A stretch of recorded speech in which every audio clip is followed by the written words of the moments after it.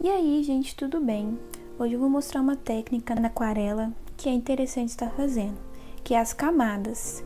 É, nesses dois desenhos aqui, eu acho que dá para poder perceber esse tipo de camada. Nessa região aqui, ó, tem uma camada com uma cor diferente. Aqui também tem uma camada.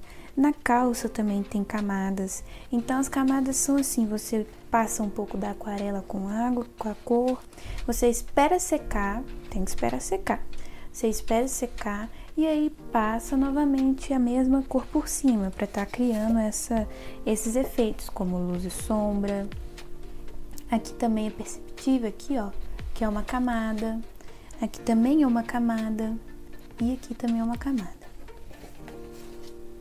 Bom, e como que eu vou explicar para poder estar criando essas camadas? É, eu vou fazer vários quadradinhos aqui e aí eu pinto um quadradinho, espero secar, aí eu pinto outro quadradinho, espero secar, para vocês verem que eu consigo fazer uma mescla de cor em cima da outra, que é uma camada atrás de outra camada, camada por camada.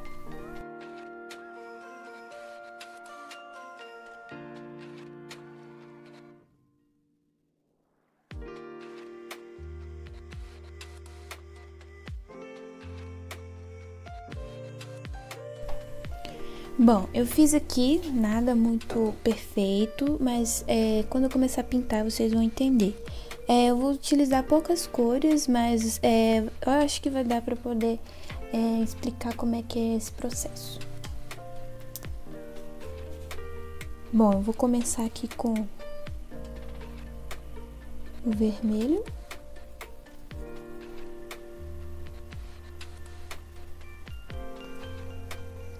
E aí, bom, vou começar, com vermelho.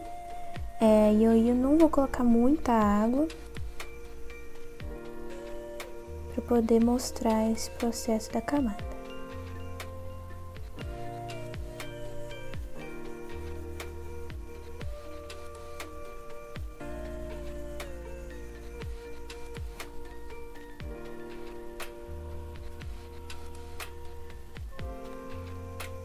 E espera secar, viu?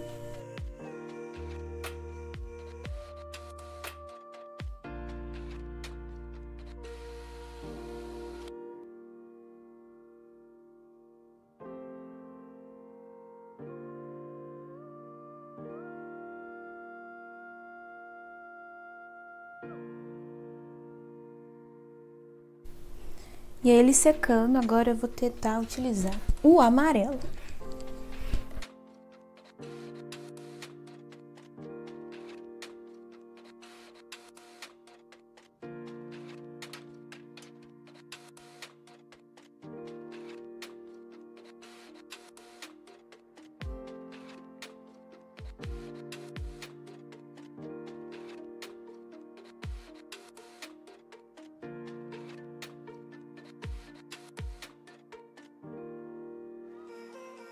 E aí espera secar também.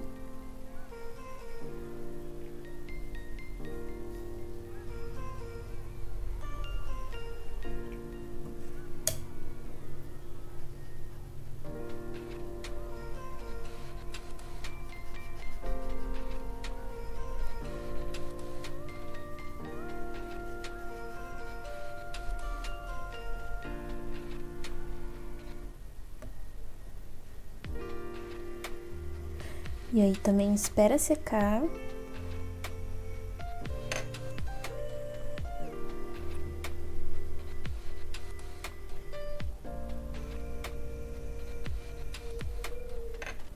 Eu vou vir com o azul agora.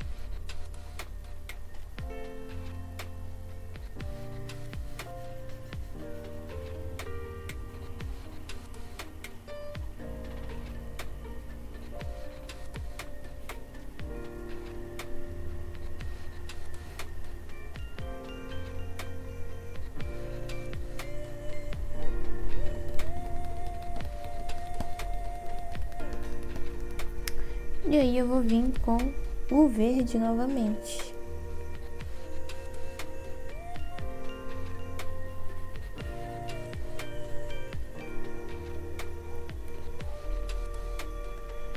Não é uma técnica assim que eu tentei fazer para ficar perfeito, mas é mais para poder entender esse processo de camada.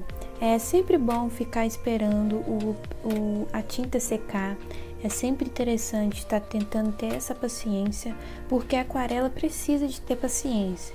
Ela precisa de ter calma para fazer o processo, é porque como utiliza a água, a água às vezes com a demanda que você está utilizando pode demorar muito para secar.